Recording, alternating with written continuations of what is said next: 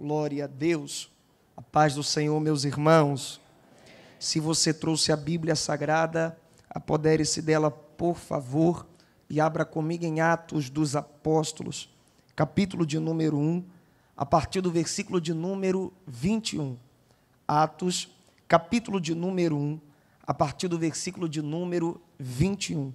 Enquanto você procura, eu quero aproveitar a oportunidade para remir o tempo e agradecer a Deus pelo privilégio que Ele me concede de estar aqui essa noite no culto da palavra. Quero louvar a Deus pela vida do pastor Silas Malafaia, pastor Elisete, pastor Silas Filho, sua esposa, pastor Odilton Ângelo, sua casa. Deus continue abençoando a vida de vocês grandemente, em nome de Jesus. Eu sei essa noite do tamanho da minha responsabilidade. Eu estou diante da igreja e também diante de homens e mulheres que têm se doado à obra do Senhor. E o desejo do meu coração é que, mais uma vez, o nome do Senhor seja glorificado nesse altar. Atos, capítulo de número 1, versículo de número 21. Quem achou diz amém. A versão que está em minhas mãos diz assim: É necessário, pois, que dos homens que conviveram conosco todo o tempo, é que o Senhor Jesus entrou e saiu dentre nós começando desde o batismo de João, até o dia em que de dentre nós foi recebido em cima. Um deles se faça conosco testemunha da sua ressurreição.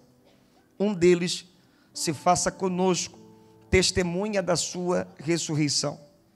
E apresentaram dois nomes: José, chamado Barsabás, que tinha por sobrenome o Justo, e Matias, e orando disseram: Tu, Senhor, conhecedor dos corações de todos, mostra qual destes dois tens escolhido. Tu, Senhor, conhecedor dos corações de todos, mostra qual destes dois tens escolhido, para que tome parte neste ministério e apostolado, de que Judas se desviou para ir para o seu próprio lugar. E lançando-lhes sortes, caiu a sorte sobre Matias, e por voto comum foi contado com os onze apóstolos. Capítulo 2, versículo 1. E cumprindo-se o dia de Pentecoste, estavam todos reunidos no mesmo lugar. E cumprindo-se o dia de Pentecoste, estavam todos reunidos no mesmo lugar. Pai, nós te agradecemos, Senhor, pelo privilégio de estar na tua casa.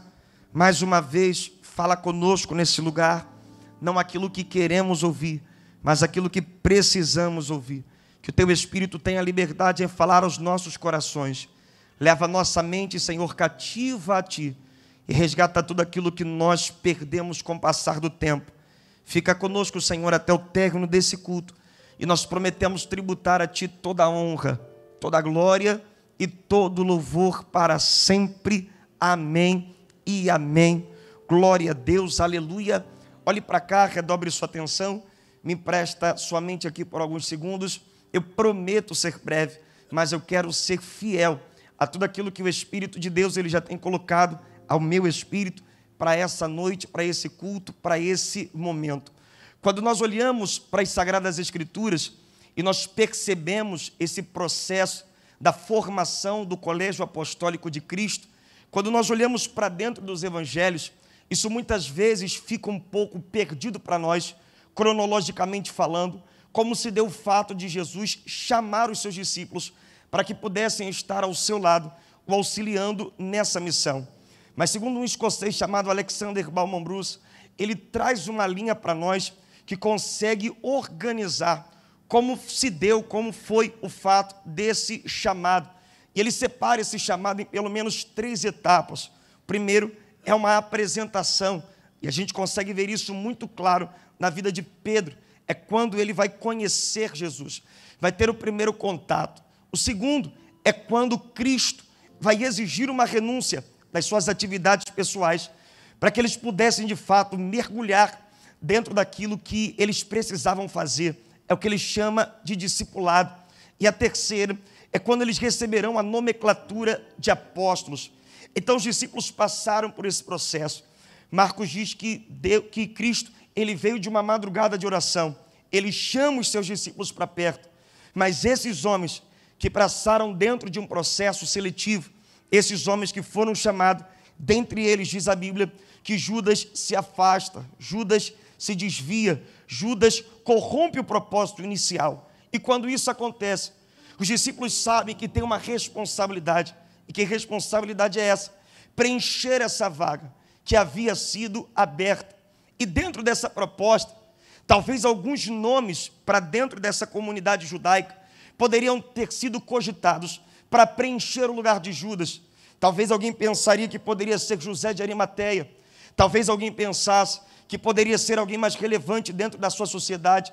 Mas quando nós olhamos para os nomes que são apresentados, a Bíblia fala de dois nomes, que até esse momento para nós, eles são extremamente anônimos. A Bíblia fala de José e a Bíblia fala de Matias. Você não vai ver até esse momento nenhum relato histórico desses dois nomes até esse momento. E há quem pense que talvez, para tamanha oportunidade, para a envergadura da oportunidade, talvez alguém que deveria preencher essa vaga fosse alguém de mais relevância. Se eles são dois nomes anônimos, o que fez esses nomes serem mencionados, serem lembrados dentro de um grupo tão seleto que estavam dentro do cenáculo buscando o poder dos céus? O que fez isso é o pré-requisito que Pedro já havia deixado estabelecido. Se você ler o versículo de número 21 e o versículo de número 22, você vai perceber que Pedro é como se ele estivesse propondo um edital do candidato. Se você já passou por algum processo seletivo, você sabe que o edital ele é a primeira peneira para separar não as pessoas que serão escolhidas, mas as pessoas que desejarão concorrer à vaga. Não significa que ela entrará, mas significa que ela preenche os pré-requisitos para aquela vaga. E dentro desse edital, você vai perceber que Pedro, ele vai ser bem seletivo. Ele diz: "O homem que estiver preenchendo o cargo de Judas, ele precisa primeiro ter estado conosco desde o começo do ministério de Jesus, quando ele estava se batizando no Jordão, até o momento em que ele foi assunto aos céus, até o momento em que ele se encontra com seus discípulos na Galileia. Então, o homem que deveria preencher essa vaga, obrigatoriamente, não poderia ter caído de paraquedas, não poderia ter entrado naquele ambiente simplesmente porque queria a presença de Deus. Mas esse homem precisava ter participado do começo do ministério de Jesus, no início, e ele precisava obrigatoriamente estar dentro do final. E isso chama a nossa atenção porque porque apesar desses nomes não serem mencionados dentro dos evangelhos, eles sempre estiveram perto de onde Jesus estava. Então, quando você olha, por, por exemplo, para quando Jesus sai do Jordão, você não vai ver ali nas Sagradas Escrituras o nome de Matias sendo mencionado. Você não vai ler nos Evangelhos o nome de José sendo mencionado. Mas para eles estar, serem, estarem sendo lembrados no cenáculo, isso significa que o nome deles não foi mencionado, mas eles estavam ali. Se você continuar olhando a trajetória de Cristo no seu ministério terreno, você vai perceber que quando Jesus ele multiplica os pães, você percebe que o nome desses homens não são mencionados, mas se eles estão sendo lembrados aqui, é porque obrigatoriamente eles estavam lá. Quando você percebe Jesus parando o funeral da mulher, da viúva de Naim, você percebe que dentro desse período de transição, você não vê o nome deles ali, mas eles estavam ali. Se você continuar olhando as Sagradas Escrituras, o momento em que ele assunta os céus, você não vê o nome de José ali, você não vê o nome de Matias ali, mas se eles são mencionados no cenáculo, isso significa que o nome deles não aparece, mas eles estavam entre aqueles irmãos que viram aquele momento. Se você ler os últimos relatos em Atos capítulo 1, versículo 8, quando Jesus manda eles ficarem em Jerusalém, até que do alto fossem revestidos de poder, o nome deles não é pontuado como de outros apóstolos ilustres dentro daquele ambiente, mas eles estavam ali, ou seja, apesar do nome deles não estarem vinculados na história, eles sempre participaram da história, porque antes de Deus apresentar o seu nome, você precisa construir no anonimato uma história de serviço no altar de Deus, antes do seu nome ser cogitado diante de um grupo seleto, você precisa ter uma pré-disponibilidade de estar nos ambientes que Ele precisa que você esteja, mesmo que você não tenha o reconhecimento público que você espera que o seu serviço tenha. Então eles estavam ali, independente de serem lembrados ou não, de serem mencionados ou não, do começo do ministério de Jesus, sem nunca terem holofote, sem nunca serem lembrados, sem nunca receberem alguma atenção por isso, até o final do ministério de Cristo, eles estavam presentes, eles deram a sua vida, eles andaram com Jesus, eles ajudaram a multidão a se alimentar, eles participaram dos ambientes em que Jesus estava, ele ouviu os ensinamentos que eles estavam, que ele estava pregando. Então essa história no anonimato está gabaritando José e Matias para agora serem mencionados num ambiente que está lotado de pessoas, mas poucos estão preparados para a oportunidade que está sendo franqueada. Dois nomes: José e Matias. A segunda coisa que me chama a atenção é que quando nós olhamos para isso, Pedro percebe, segundo o escritor Matthew Henry, ele diz que eles eram homens tão preparados para esse cargo, tão prontos, pastor Odilton, que ambos olhavam para eles, um para o outro, tanto para José quanto para Matias, e não via nenhum perfil que pudesse reprová-lo, nenhum dos dois, para que ocupasse o cargo. Era uma decisão extremamente difícil de ser tomada. Qualquer um que preenchesse o lugar de Judas estaria é, de forma competente e preparada para esse ambiente. Então, como aqui na terra não havia nenhum critério a mais que eles pudessem exercer para fazer a escolha desse homem, existe uma ferramenta que vai além das nossas habilidades, qual? A oração. Eles olham e digam: Deus, revela-nos qual que tu tens escolhido. Quando eles decidem orar para essa oportunidade, a segunda coisa que eles estão mencionando é que existem dois critérios a serem mencionados. O primeiro critério a ser preenchido é o dos homens. E sabe como é que o critério dos homens é preenchido? O que eles faziam era o pré-requisito para que eles fossem um candidato. O que Pedro disse é: tem que estar do começo até o final do seu ministério, ou seja, o que eles fazem, o tempo que eles investiram, a disponibilidade que eles tiveram, o coração voluntário para essa obra, aquilo que eles faziam era um pré-requisito para que os homens o aprovassem ou não. Mas depois do requisito dos homens, havia um requisito de Deus. E Deus não se impressiona com o que nós fazemos. O que Pedro está dizendo na, na sua oração é que Deus está vendo a intenção do seu coração. Quem precisa ver os homens trabalhando somos nós. Deus ele enxerga a motivação que nos faz trabalhar. Os homens enxergam a nossa disponibilidade. Deus enxerga o combustível que nos faz disponível para a sua obra. E o que ele nos prova é que a escolha é um casamento perfeito, uma não anula a outra, pastor Bruno. Mas a escolha é um casamento perfeito entre o que eu faço e como eu faço, entre a minha disponibilidade e a sinceridade acerca daquilo que eu estou me disponibilizando a fazer. Então ele diz: Senhor, nós não conseguimos legislar sobre essa decisão. Então nos mostra qual tu já tens escolhido para esse negócio. Por quê? Porque tu conheces o coração. Eu vejo a forma que se apresenta, eu vejo a roupa que usa, eu vejo quanto está aqui dentro. Mas o Senhor sabe o seu sentimento que está no coração desse homem e dessa mulher. É para que o teu nome seja glorificado. Se está usando o teu reino como um trampolim para os seus sonhos pessoais. O Senhor sabe que se essa disponibilidade de estar aqui dentro é para de fato fazer a sua obra, ou é apenas um sentimento pessoal desejando ser suprido. Então tu que conheces o coração, tu que sabes das intenções, mostra qual tu tens escolhido. Oh glória! E o que chama mais a minha atenção, Pastor Renato, é que esse pré-requisito, Pastor Alex, não foi Deus que estabeleceu.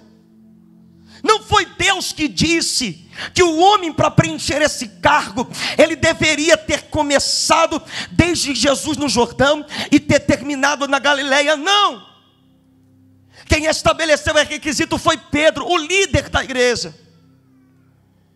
Então a aprovação de Deus passou pelos critérios estabelecidos pelos homens que Deus escolheu. Essas orações os nomes deles não seriam apresentados em oração a Deus, se primeiro para os homens eles não fossem uma escolha.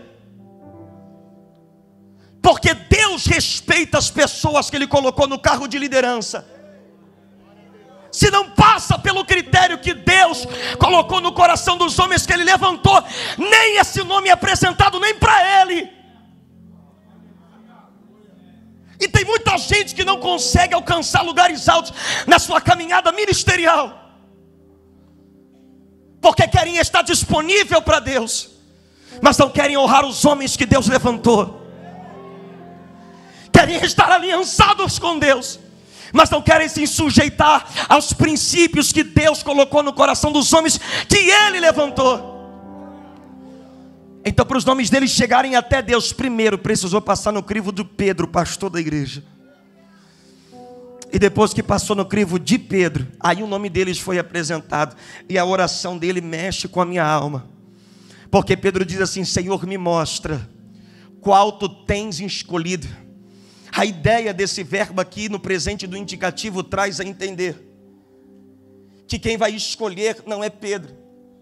Na verdade, ele só precisa reconhecer quem Deus já escolheu.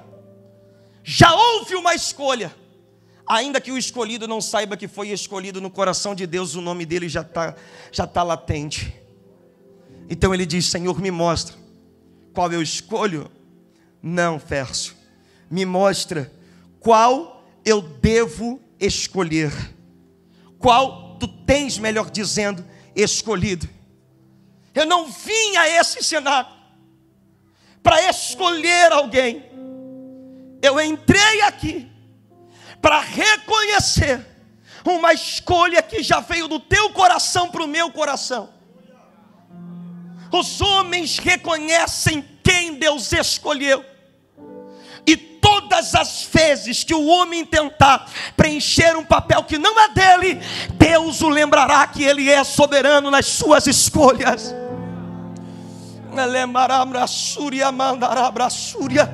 Quando Samuel chega na casa de Jessé, ele olha para Eliabe e ele disse: Eu acho que esse homem tem um perfil perfeito de quem eu estou procurando. Quando ele vai escolher, Deus lembra Samuel: Você não veio à casa de Jessé para escolher um rei, você veio para ungir um rei que eu já escolhi.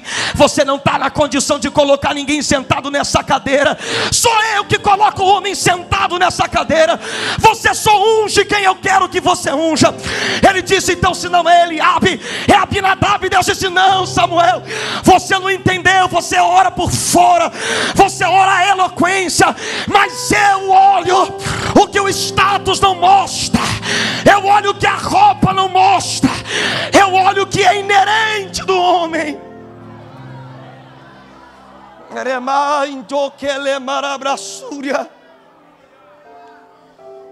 Você não escolhe. Quem escolhe sou eu. Então me mostra qual que tu tens escolhido. E é aqui que eu preciso que você redobre sua atenção e me empreste sua mente aqui. A sorte é lançada. E isso para nós, pastores, pode parecer muito místico, devido ao nível de responsabilidade dessa escolha. Isso para nós pode parecer muito superficial, a sorte ser lançada. Mas na verdade, eles acreditavam que diz em Provérbios capítulo 16 que a sorte é, é jogada, é lançada no regaço, mas é do Senhor que vai vir as respostas. Então eles acreditavam tanto na soberania de Deus, que era literalmente isso: colocar dois nomes dentro de um vaso, misturar e jogar, e o nome que saísse eles acreditavam que seria o nome pelo qual Deus estava no coração. Isso era algo que já era definido dentro da cultura judaica há muito tempo. Esse era um princípio que era usado para a separação das tribos. Foi esse recurso usado para divisão dos turnos dos sacerdotes quando Davi vai escolher os turnos que eles vão servir. Foi esse recurso que a liderança usou para ver onde estava o pecado de Acã. Isso era algo comum. A sorte era lançada. Só que a última vez que a Bíblia menciona que a sorte será lançada, pastor André, é aqui. Pergunte para mim por quê. Não prega comigo, pergunte por quê Porque em Atos, capítulo de número 2, acontecerá um marco que vai mudar a forma da igreja administrar as coisas internas. Em Atos, capítulo de número 2, acontecerá um marco, a descida do Espírito Santo. E quando o Espírito Santo paira pelo meio da igreja, os homens não precisam mais lançar a sorte, porque esse Espírito, ele tem liberdade em falar. O pastor Silas falou aqui em Atos, capítulo 13, quando Deus vai falar naquela igreja, o Espírito de Deus vai falar: separe a minha Paula Barnabé. A sorte não precisa ser lançada mais, porque a nossa vida não é mais levada ao acaso, mas aquele que habita em nós, Ele agora direciona os nossos passos, as nossas escolhas, e esse Espírito está dentro da Devec essa noite para dar direcionamento para pessoas aqui, para trazer respostas em situações difíceis de resolver. E se esse Espírito está aqui, tira pelo menos 10 segundos para glorificar e exaltar aquele que fala no meio da igreja. Oh, glória a Deus.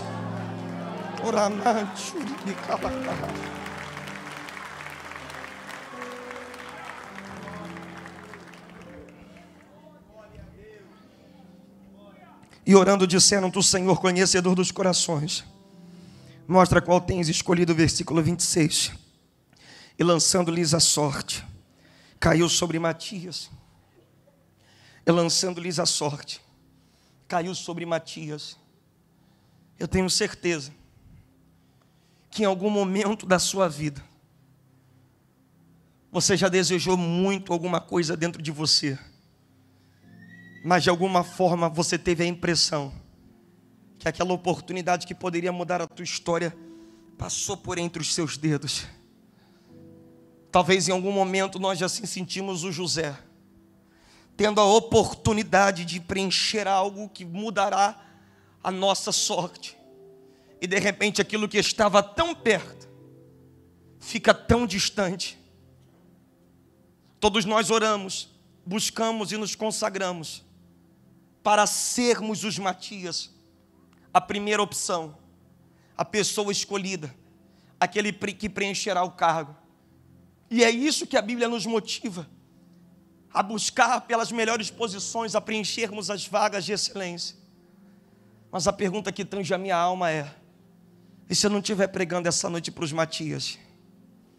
E se eu estiver pregando essa noite para os Josés? para aqueles que não foram a primeira opção dentro do ambiente que deveria ser escolhido. E se eu não estiver pregando hoje para os Matias? E se eu estiver pregando essa noite para os Josés? Que viu a promoção no teu trabalho passando por você e caindo na, na pessoa do seu lado? Que viu a oportunidade de trocar de casa passando por você e indo para o do vizinho? que viu a oportunidade de dar mais um passo ministerialmente, viu isso passando por você. Isso que confronta o nosso coração. Porque não preencher algo despreparado, de certa forma é consolador. Mas não preencher, estar estando preparado, gera uma crise aqui dentro, gera conflitos aqui dentro porque ele não pediu para ser. Mas como a oportunidade foi aberta, talvez ele gerou isso dentro dele. E quem é que não faz isso, gente? Eu não queria, mas uma possibilidade começou a fazer eu sonhar com aquilo ali. E de repente a oportunidade que era para mim passa para uma outra pessoa. Fala para mim. Como é que administra esse sentimento? muitos na posição de José se rebelam contra a liderança local. Muitos na posição de José se sentiriam afrontados, desprestigiados, e talvez nem gostariam de voltar ao lugar. Só que Atos capítulo de número 2 começa dizendo: E cumprindo-se o dia de Pentecostes, estavam todos. Estavam, estavam. José disse: Eu não fui a escolha, mas eu não sairei do cenáculo. Não foi o meu nome apresentado, pastor Marcelo, mas eu não sairei do cenáculo. Não foi dessa vez mas eu não sairei do cenáculo. Alguém esperava, e aí José vai ir para a igreja? Não, eu sei o que eu estou fazendo aqui. E aí José vai falar mal na internet? Não, eu sei o que me atraiu até aqui. E aí José vai se achar injustiçado? Não, eu sei o porquê eu entrei aqui. Eu não fui atraído por causa do cargo, eu não fui atraído por causa da oportunidade, eu fui atraído por causa de uma promessa. Ficai ali, porque quando esse Espírito descer, ele não procurará pastores, ele não procurará pregadores, ele não vai atrás de cantores, mas ele descerá em quem estiver aqui dentro, aqui dentro, aqui dentro. Cadê os habitantes do cenáculo que estão aqui, Pastor Anderson,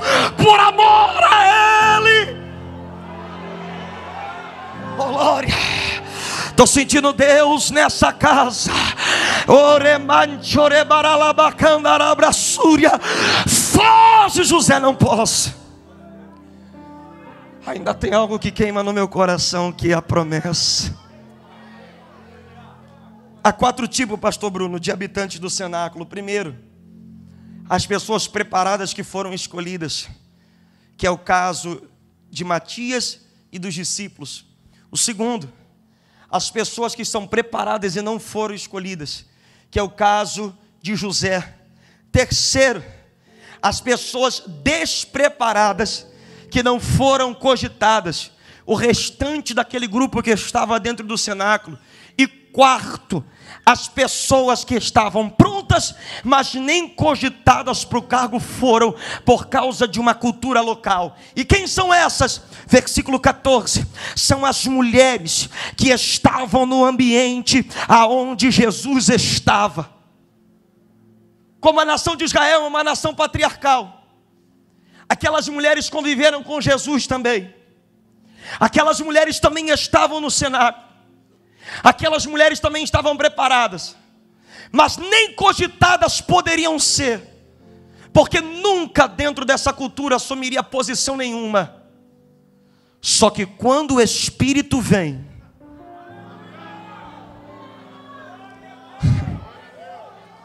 oh glória, quando o som vem do céu como um vento impetuoso, ele vai encher os que estão preparados e que foram escolhidos. Ele vai encher os que estão preparados e não foram escolhidos. Ele vai encher os que não estão preparados e nem cogitados foram. E ele vai encher as mulheres que também estavam preparadas, mas não foram cogitadas. Por quê? Porque a presença de Deus, ela não é algo que pertence apenas a quem desenvolve algo na igreja, não. A presença de Deus são para pastores, pregadores, músicos, cantores, mas é um presente de Deus para a sua igreja.